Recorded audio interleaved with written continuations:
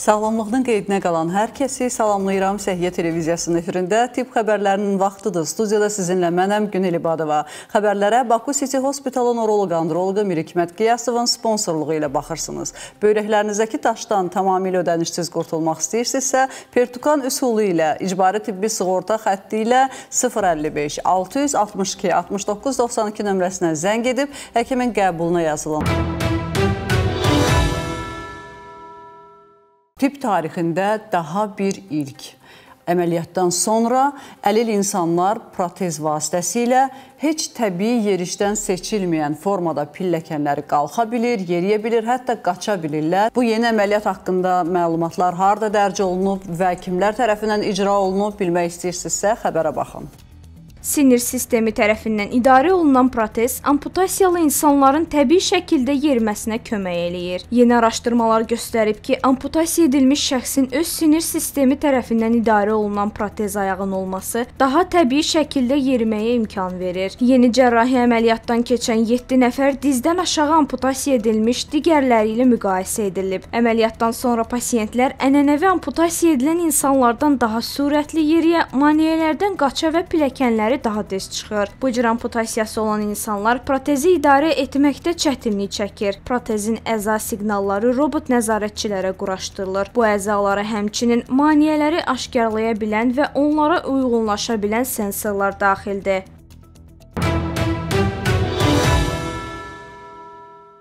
Yaşamaq gözəldir, amma həyat çox çətin məsələdir. Bu xəbər doğrudan da üzümdə təbəssüm yaratdı, eyni zamanda dünyanın nə qədər mürəkkəb bir yer olduğunu xatırlatdı.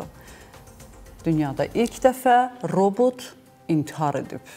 Birlikdə baxaq robot həyatına qəsd edib. Texnologiya tarixində ilk dəfə olaraq robot intiharı qeydə alınıb. Bu, Cənubi Koreyada şəhər içində kuryer vəzifəsini icra edən ağıllı robotlardan biridir. O öz canına qıyıb. Qeyd edək ki, Cənubi Koreyada hər sahədə geniş şəkildə robotların əməyindən istifadə olunur. Bir robot 10 insanın əməyini qüsursuz yerinə yetirir. İstehsalçı şirkətin sözlərinə görə özünə qəsd edən robot ən çalışqan işçilərdən biri idi. İş saatı 9-dan axşam 6-ya qədər olan bu robot öz işini mükəmməl şəkildə yerinə yetirirdi. Tədqiqatlar göstərir ki, hadisə baş verən gün ağıllı robot iş saatından çox işləyib və yorulub. O liftlə yuxarı qalxıb özünü ataraq həyatına qəsd edib.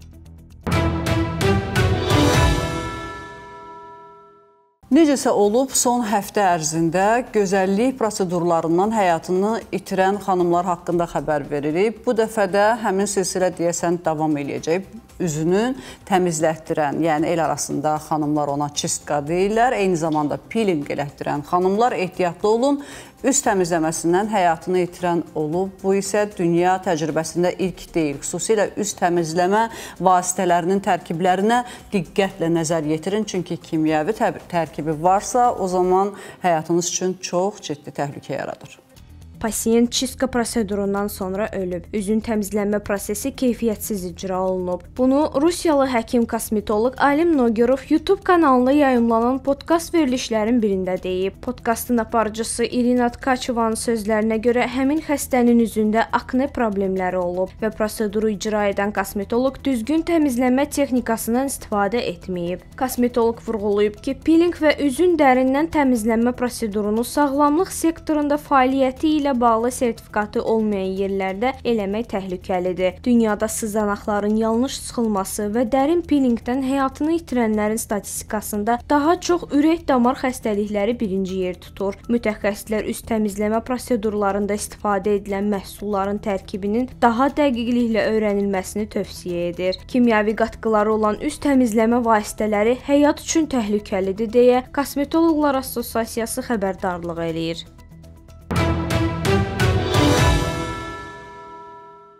Bəzi qan növləri var ki, insanı arıqlamağa qoymur. Oxuyanda bu xəbəri mən də kifayət qədər təəccüblənmişdim. Çox maraqlı detallar var, birlikdə baxaq. Artıq çəkiyə səbəb olan qan qrupunun adı açıqlanıb. Kiçik integral membran proteini 1 geni olmayan insanlar enerji xərclərinin azalması səbəbindən piyələnmə riski ilə üzləşir. Bu xüsusiyyət həm də mənfi qan qrupu olan insanların doğulmasına səbəb olur. Bu gen 10 il əvvəl müəyyən edilib. 5000 insandan birində aşkar edilir. 104 xəstə üzərində aparılan yeni bir araşdırma mənfi qan qrupunun pi səviyyəsinin artması, yağ toxuması, qaraciyər funksiyası ilə bağlı problemlər və qeyri-aktiv tiroid bezi ilə əlaqəli olduğunu müəyyən edib. Bu qan qrupu olan qadınların çəkisi orta hesabla 4,6, kişilərin çəkisi isə 2,4 kiloqram olub. Alimlərin fikrincə dünyada təxminən 300 min insan mənfi qan qrupu ilə əlaqəli piyələnmədən əziyyət çəkir. İndiki gənclərin yaddaşı niyə zəifdir? Artıq bu sualın cavabını tapmışam. Bu elmi məqalədə sübut olunur ki, az yuxu yatanlar, gec yatanların yaddaşı pozulur və hətta 2 gün əvvəl baş verənləri belə xatırlaya bilmirlər. Əgər ömrünüzü yadınızdan çıxartmaq istəmirsinizsə, vaxtında yatın və yaxşı yatın.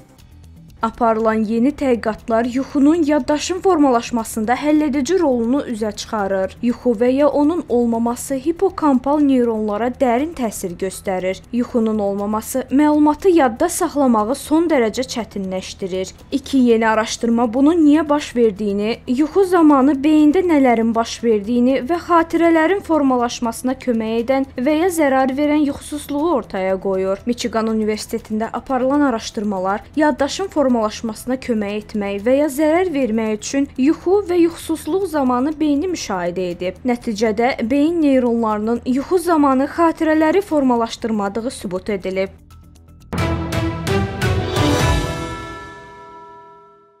Qaraciyər, dalaq, qalxana bənzər vəz və süd vəzisində şişiniz varmı, yoxmu deyə bilmək istəyirsinizsə, ultrasəs müayinəsinə bənzər elastografiya müayinəsindən keçə bilərsiniz. Bu cihaz vasitəsilə daxili orqanlarınızda nə baş verir, gələcəkdə nə baş verər, 10 il sonra hansı xəstəliklər yarana bilər suallarının cavabını da tapa bilərsiniz. Bu çox unikal cihaz Baku City Hospitaldır və onun mütəxəssisi tibb üzrə fəlsəfə doktoru Sevinç Salahovanı hazırda ekranda görürsüz. Doktor cihaz haqqında və onun müayinələrinin möcüzəvi öngörüləri haqqında çox maraqlı ə, söhbət açıb birlikdə baxaq. Verilişin tamamını isə xatırladım ki, Medical Media Live YouTube səhifəsindən izləyə bilərsiniz qaraciyərdə, qalxanvari vəzdə, dalaqda və süd vəzində şiş olub olmadığını və ya orqanlarda olan bir çox fərqli xəstəlikləri sadəcə bir cihazla 5 dəqiqəlik müayinə ilə öyrənmək olar. Cihaz dəri üstündən heç bir kəsik müdaxilə olmadan daxili orqanların bütün görüntülərini əldə etmək imkanı verir. Bununla bərabər daha dəqiq və detallı diaqnoz qoymağa kömək edir. Elastografiya müayinəsi üçün Baku City Hospital-a müraciət edə bilərsiniz. Bu müayinə növü və cihaz haqqında Daha ətraflı Baku City Hospitalın hepatoloqu, elastografiya mütəxəssisi, cərrah, tibb üzrə fəlsəfə doktoru Sevinç Salahova danışıb. Səhiyyə televiziyası və Xəzər FM-in birgə layihəsi olan radioterapiya verilişində hepatoloq bu müayinələrin bir sıra digər özəlliklərdən də bəhs edib. Elastografiya müayinəsi tək qaraciyərdə aparılmır. Qalxanvari vəzdə, məsələn, əgər e, şişlər varsa, o şişlərin bəd xəstəli və ya xoş xəstəli olmağında istifadə oluna bilər. Süd vəzində son zamanlar protokola düşən bir çox hallarda e, e, şişin xoş xəstəli və ya bəd xəstəli olmağını təyin olması üçün artıq protokola düşüb. Yəni ki, çox geniş istifadə olunur bu elastografiya. Yəni süd vəzi xərçəngindəki şiş xoşdur xoş ya bəddir, onu müəyyən bəli, eləyə bilirsiniz. Törəmənin xoş və ya bəd Aha. xəstəli olmağını və bu xəstə mütləq e, biopsiyaya getməlidir. Düzdür, onsuz da əgər şiş təyin olunursa xəstələrdə bu biopsiyaya göndərilir. Amma ilkin olaraq nəticə verməkdə biz həkimlər aləmində Bu çox vacibdir. Hə, həmçinin mən özüm dalaq elostimetriyasını tətbiq edirəm. Dünya ədəbiyyatı da onu göstərir ki, əgər dalaq elostimetriyasını aparırsınızsa, qaraciyərdə dəyişiklik varsa, elostimetrik olaraq yüksəkdirsə göstəricilər, dalaqda da bu yansıyacaq. Yəni bu dalağa da təsir eləyəcək. Dalağın da elostimetrik göstəriciləri, məsələn, 50-nin üstə üstündədirsə, biz bu xəstələri mütləq endoskopik müayinəyə göndərəcəyik. Nəyə görə? Çünki dalaq e, sıxlığı yüksək olan pasientlərdə, xəstələrdə qan qanama risk faktoru var. E, biz deyirik e, siroz xəstələrdə ola bilər, sirozun ağırlaşmaları var, portal hipertenziya kimi, varikoz qanaxma vermə ehtimalı kimi. Həmin bu dalaq elastikografiyası vasitəsilə biz ilkin olaraq deyə bilərik, bu xəstədə varikoz olma riski var və ya yox. Həmən o xəstələri biz endoskopiyaya yönləndirəcəyik və təyin edəcəyik ki, bu xəstədə varikoz var və ya yox. Hətta qanaxma riski var və ya yoxdur. Əgər qanama riski varsa 3-cü, 4-cü dərəcəli varislərdə endoskopistlər həmin o e, genişlənmiş venalara həlqə atırlar, bağlayırlar ki, gələcəkdə qanaxma olmasın.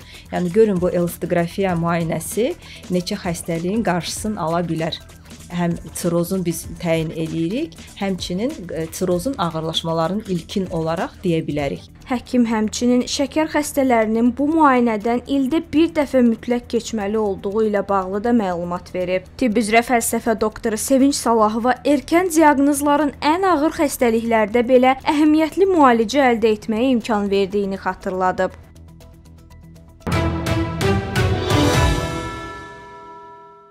Bugün olan Səhiyyə xəbərləri bu qədər. Dünyada və ölkədə baş verən ən vacib tibb xəbərlərini Səhiyyə kanalında izləyin. Daha çox maraqlı tibb məlumat oxumaq istəyirsinizsə, sağlamolun.az saytına daxil olmağı unutmayın. Xəbərlərin baş sponsoru Baku City Hospitaldır. Özünüzü və doğmalarınızı qoruyun. Sağ olun, salamat qalın.